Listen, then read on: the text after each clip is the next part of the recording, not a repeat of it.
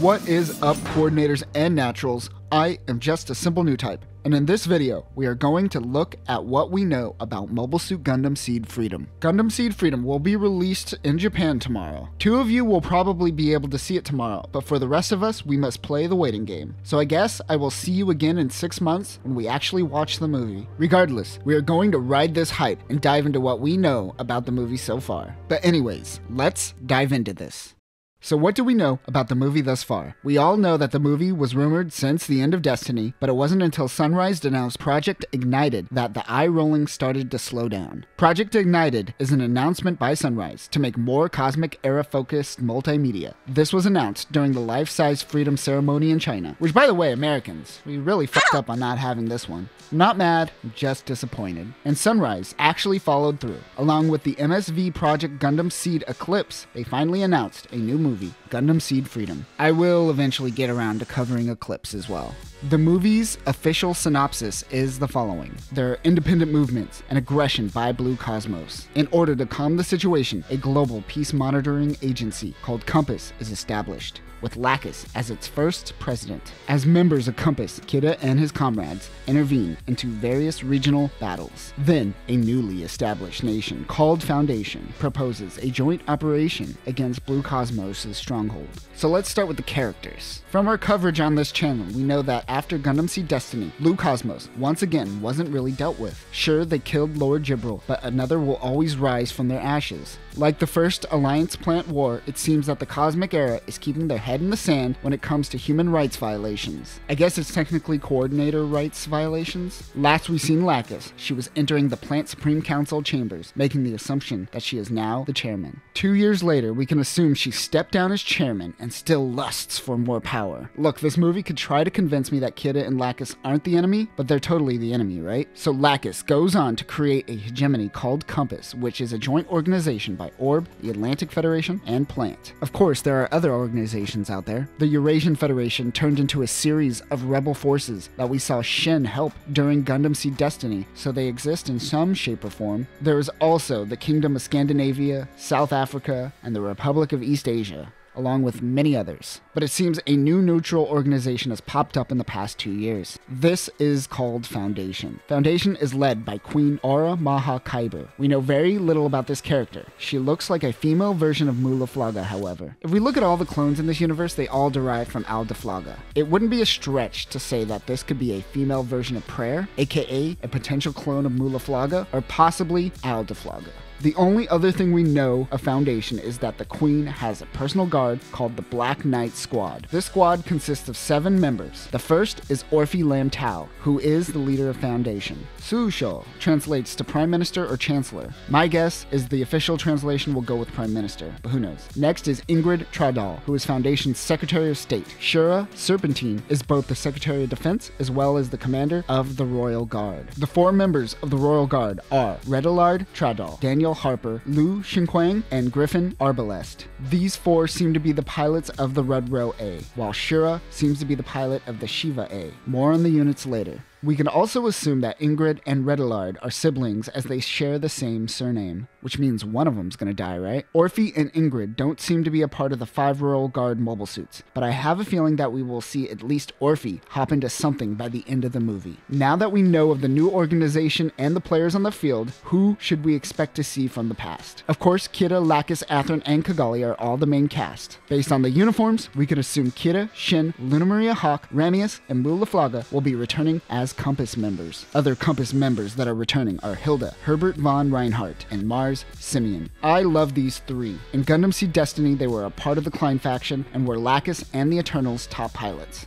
They are the cosmic era equivalent of the Black Tri-Stars from Universal Century. They really didn't get enough attention in Destiny, so hopefully they will get some good moments in this movie. Other Compass members that are completely new to the cosmic era are Alexei Kano, Albert Heinlein, and Agnes Giebenrath. No information about these characters are known, but based off their uniforms, we can make the assumption that Alexei will be a captain. The question is, will the Archangel be passed down to him, or will he be the captain of this new ship? More on that soon. Albert will most likely fulfill the role of Arnold or Dalida in this new ship. You remember Arnold and Dalida? Those two guys on the Archangel, you never took the time to learn their names and you just called them those two guys. And finally, Agnes, who is donning a red uniform, so it is assumed that she will be a new ace pilot. I assume she is going to pilot the new Gyan Shram. Over at Orb, we are introduced to a new character, Toya Mashima. We know nothing about this character, but we know about his family. The Mashima family is one of the five great clans of Orb who run the council. During the Second Alliance Plant War, Tatsuki Mashima was head of the family and opposed Cagalli, her father Uzumi, and her ideals of neutrality. Tatsuki sided with Unisarian, assisted in harboring Lord Jibril, and eventually was killed. Now it seems his heir is taking over for the family. The question is whether he will follow in his family's footsteps. My guess is that he will constantly be at opposition with Cagalli during this movie. Over at Zaft and Plant, we know that Dearka and Yzak will once again make their appearance. It seems that Dearka is going to be a Plant Supreme Council member, while Yzak is most likely going to be a high commanding officer and possibly a member as well. I'm not sure.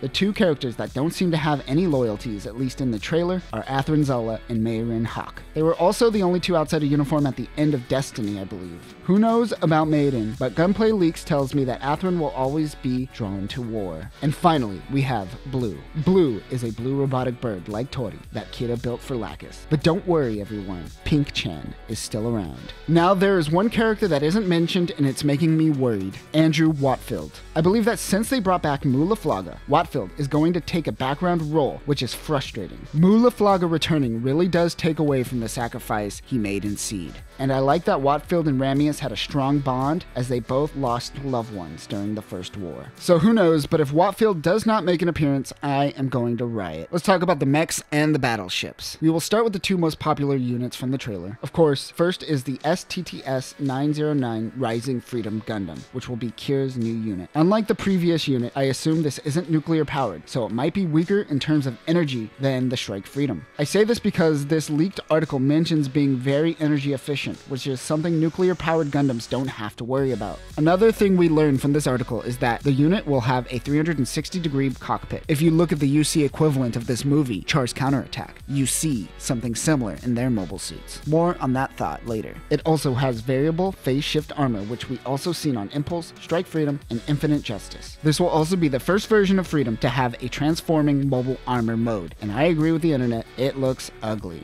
I am glad that they brought back the white trim instead of the gold trim though and I still think it looks better than Gundam Wing's bird mode. The frame is able to re enter Earth's atmosphere with ease and is said to be just as strong as an aircraft, even though it can transform. Usually, transforming mobile suits means more moving parts, which means more points of failure. This unit, along with Immortal Justice, is developed by Orb, which is interesting considering the Strike Freedom was developed by Terminus and the Clyne faction. The STTS 808 Immortal Justice Gundam seems to just be an improved version of the Infinite Justice. There hasn't really been great design design improvements from the Aegis all the way up to the Immortal Justice, it simply just improves itself and gets better at high mobility operations. Both Justice and Freedom use the same transformable frame. Of course, we will both see Infinite Justice and Strike Freedom make the return. The question is will these two units be destroyed? I like to think that Kira will go out in a blaze of glory, somehow survive, and then get his new unit. I think the same of Athrun as well, though he might blow himself up. He likes to do that. Another familiar unit that we will see in this movie is the Murasame. Without a doubt, this is the best grunt unit of Destiny, and I'm glad it's making its return. Orb used these units as a test bed for the new transformable frame that we see in the new Freedom and Justice. Now let's talk about the two new units that will be used by Compass that we see in the trailer. The first one is the Gelgoog Menace. We know nothing about this unit unit, but we know that the Gens, Zaku's, and Doms of the Cosmic Era are heavily borrowed from Universal Century, so we can expect similarities to the UC Gelgoog.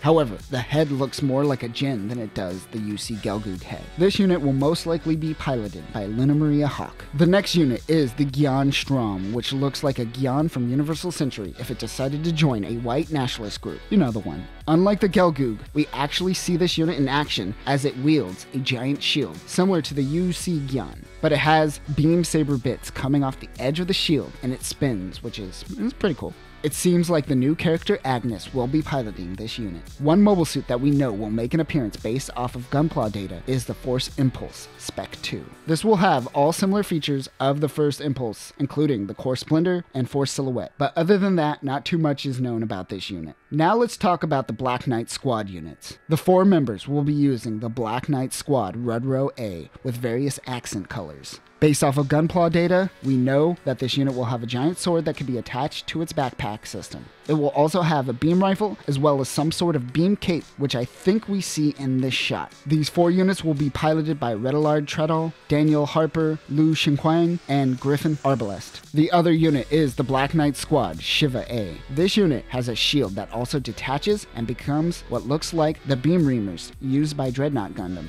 It also has beam sabers on its feet. It also has the beam cape like the Rudro. This unit will definitely be piloted by Shura Serpentine and functions as a commander type unit. Other units that we see in this trailer include a bunch of daggers and gins being cannon fodder for the main characters. Those poor, poor daggers. We also see a Destroy Gundam. This was piloted by Stella in Destiny, but others also pilot this giant beast of a unit. We also see this Jin tank randomly, which the closest unit to it would be the uh, 1017 Gen Fuego, but it looks a little bit different. We see Mu La Flaga also inside a cockpit of a mobile suit, so he will be piloting something. My guess is that if Kira doesn't destroy the Strike Freedom, Mu will take it, but it may be possible that he is still in possession of the Akatsuki Gundam that he piloted at the end of Destiny. Finally, we get a look at the new flagship, which I imagine will be the home of the new freedom and justice. It has a launch pad and runway outside of the ship, similar to the Argama in Zeta Gundam. Now the question is, will Alexei and the new crew pilot the new ship, or will Ramius's crew become the new captain of the ship, while Alexei and his crew become the new Archangel captain? I bet Ramius will stick with the Archangel, but she's been with that ship for four years. Give her an upgrade.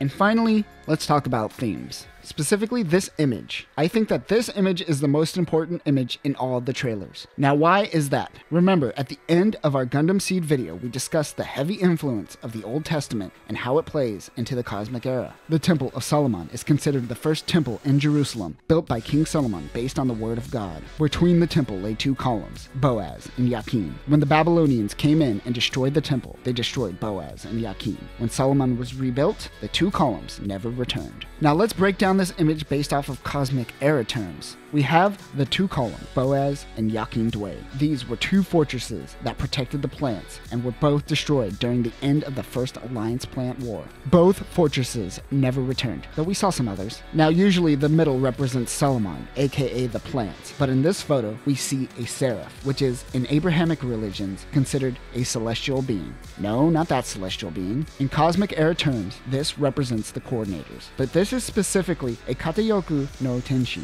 or one winged angel. More specifically, a one sided angel. The concept of Kira's authoritarian pacifism greatly embodies the concept of the one winged angel. But usually, those seraphims fall from grace. Does that mean that Kira is going to fall from grace? I genuinely hope that Kira does fall from grace, and that this is foreshadowing to the end.